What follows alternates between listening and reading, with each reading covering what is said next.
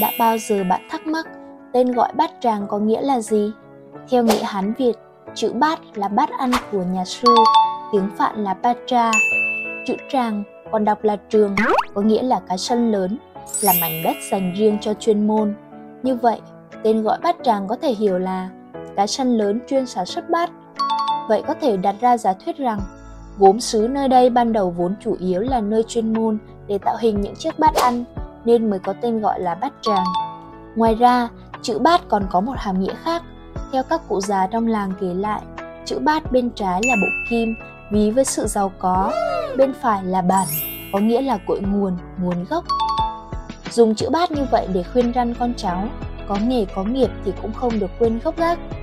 Và cho đến hiện nay, tại các đình, đền và chùa ở Bát Tràng thì đều vẫn còn các chữ Bát Tràng được viết bằng chữ Hán.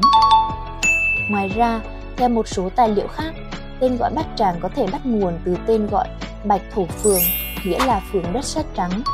Bạn còn biết điều gì hay về tên gọi Bát Tràng? Bình luận ngay bên dưới nhé!